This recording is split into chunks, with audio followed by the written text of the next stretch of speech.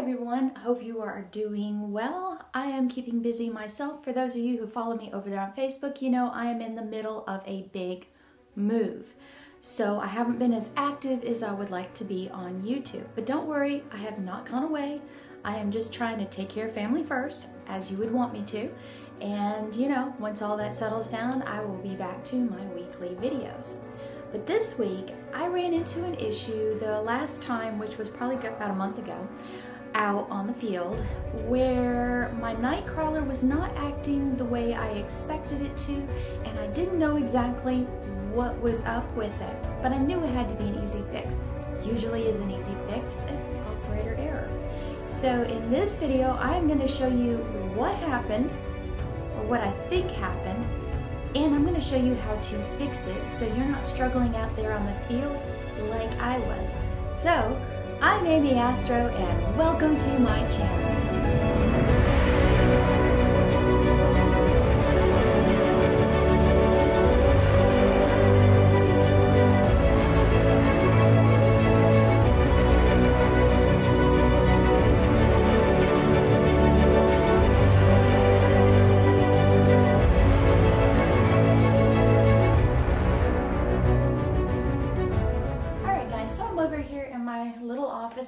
What's left of it with my toolbox, which is sadly empty of all supplies.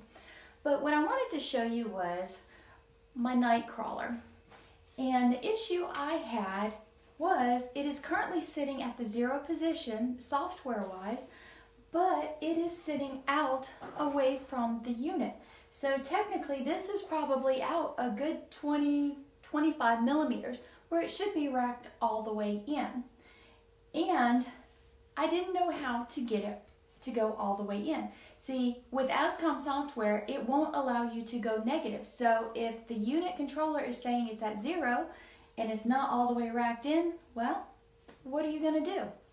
Well, the fix is actually easier than I thought, but the fix required me to contact Moonlite themselves and ask for it because I couldn't find anywhere on the internet where somebody else had posted about this issue.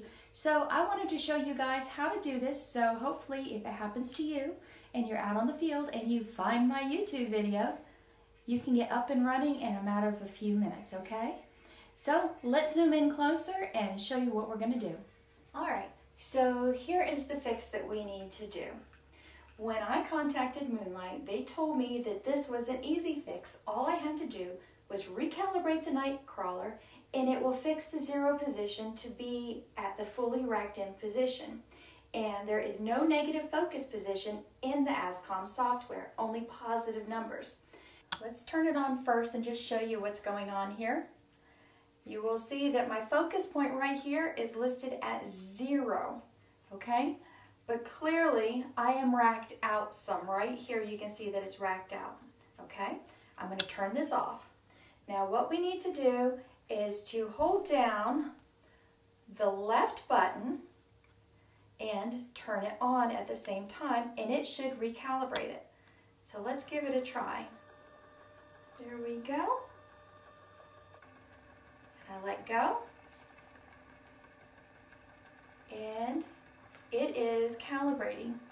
Now what it's going to do is this is going to take anywhere up to 10 minutes to happen. So we're going to let this roll through and I'm going to speed this up through Camera World so you don't have to wait 10 minutes. I'll be back in just a moment.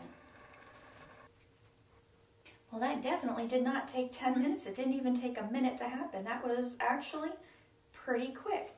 So now you can see that I am fully racked in and my focus is now at zero. Problem solved. I am ready to get going. Now I'll go over to my imaging software like Sequence Generator Pro or Nina and I will sync my focus position to be zero. And once I've done that, I am good to go, ready to off, you know, to run off with my astro imaging session. So how easy was that fix? Simple recalibrate, I am up and running, taking my images once again, no worry. But now you have a resource out there on YouTube for if this happens to you when you're on your star field, hopefully you find this video very helpful for you and you get up and running fast. So You guys see my shirt here? Let me get up here and uh, ta-da! All right, this is my Photons Chasers t-shirt. It is available for sale. I have a link down below in the description. And I would love to see everyone out there on the field wearing this shirt. It's really cool. It features the Astro Cats and a nice little camping scene. But I do make a small profit from it, not a whole lot. So really I need to sell thousands of them to, you know, make anything. But that's okay. I'm out there, I'm trying, I'm trying to make a little money at this hobby, which I'm sure you guys can understand because nothing about astrophotography is cheap and we all want new toys, okay? So, I do have some very exciting news for everybody. I have been sitting on this news for far too long. I have been dying to tell you guys this, okay? What it is, is I now have a sponsor collaboration deal going on. And in the very near future, I'm going to show you some new telescope products and I'm to get to try it out and tell you guys my thoughts, you know, what I liked, what I didn't like, and all that. And my opinions will always be my opinions, and they will be as truthful and honest as I can possibly make them. I am not to candy coat anything, and I warned everybody about this up front. But let me say that Sea and Sky out of Houston, Texas, along with Altair Astro in the UK, have come together and they have built this telescope unit that is meant for somebody who wants a package deal, something that's lightweight, not crazy expensive, something great for wide field. And I have recently received the unit and I am really excited to start showing it to you. So in future videos, I'm going to show you this telescope and I'm going to play with it outside in the backyard. We're going to give it a test run and I'm going to tell you guys my thoughts and feelings about it. But real quick, let me show you what it is. This is the smallest telescope, the lightest telescope that I own. It is a fancy 60 millimeter Altair telescope here. It is a refractor. And this kit, which is really cool because you don't get this very often in this world, is going to be a complete kit available to you with the telescope, the guide scope, the guide camera, the imaging camera, which I have already boxed up and packed away, so I'm going to show that to you soon. But it comes with a filter holder along with a light pollution filter. The camera is a one-shot color camera. The package comes complete with all the spacers you need and the field flattener to, to uh, achieve these really flat images. And also it will come with a Vixen rail that will allow you to mount it to your mount. Now there is not a mount included with this package quite yet, but the thought process is, is you really should buy the best mount that you possibly can for your imaging goals. This is a small scope, so you really don't want to buy a mount that is meant for a small scope if you plan on taking this into the future and doing more with this hobby. But if this is all you ever want, there are some small mounts out there available.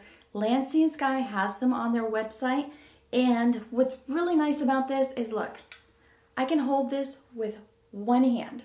No problem. This is not heavy. It's compact. It's tiny. It's cute. I really shouldn't say cute to you guys, should I? But I'm looking forward to getting out in the field and using this telescope setup. So in the near future, I'm going to tell you how this stacks up with my other scopes. We're going to look at how wide this field really is, how well this guide scope works with the guide camera, and we will give this camera that they sent me a run for its money. Now, all of this is going to come after I move out of this house which is, you know, these this is the only scope I've really got here. Besides, you can see the uh, the Raven is hiding over there. They're the last two scopes I have to move out. And um, my parents are going to hold them for safekeeping because I just don't trust storage units. You know, and, well, I have to trust my parents. I love them. They love me. It's kind of what we do. But this is my exciting news. So if you're curious about this scope before I start telling you my thoughts and feelings, I'll leave a link below. It is a whole package deal that includes the camera that I'm not showing you right here with the filter. and it's for one not overly crazy price when you start looking into astrophotography. And that was kind of the goal to have a one-stop shop, everything you need in one box. So all you have to do is assemble it and put it outside on a mountain, and start taking pictures. All right? No fuss, nice and easy. That's the concept. And I'm going to tell you real soon how well this all works out for us. But I hope everyone enjoyed this video. Thank you so much for sticking around with me, knowing that I'm going to be a little bit slow on producing videos for the next few weeks until I get my house in order, which I know every one of you understand. And I'm looking forward to producing a whole bunch of videos. Things are moving up for us. We're doing great. We're getting um, recognition from manufacturers and resellers who are reaching out to me. I am doing several live streams. I just did one with the Backyard Imaging channel. I'm going to be on Woodland cameras pretty soon. And also Explore Scientific has reached out to me to be on their channel. So great things are happening for all of us. Thank you everyone for sticking with me. We are closing in on 3,000 subscribers and I'm anticipating around the time we sit down and have turkey here in the US for Thanksgiving, I just might hit 3,000. At least that's my personal goal. I would love to have a turkey 3,000 with all of you guys. So don't forget to like, subscribe, share with all your Astro friends. Tell the world that we are here together. If you have questions, comments, leave them below. I do my very best to answer them. If you don't want to leave it so everybody in the world can look at it because you might think it's a, an unusual question, you might be a little embarrassed by it, don't worry. I'm not going to rag you guys out. Pop over to my website, which is amyastro.com, find the contact link, and from there you can send me a private email where I will do my very best to answer all of your questions, okay? So I'm looking forward to hearing from you guys. I'm looking forward to a great winter season with all of you. And as always, I am wishing you guys to have some great health, clear skies, and I'm to see you all in the next video. I love each and every one of y'all. Goodbye.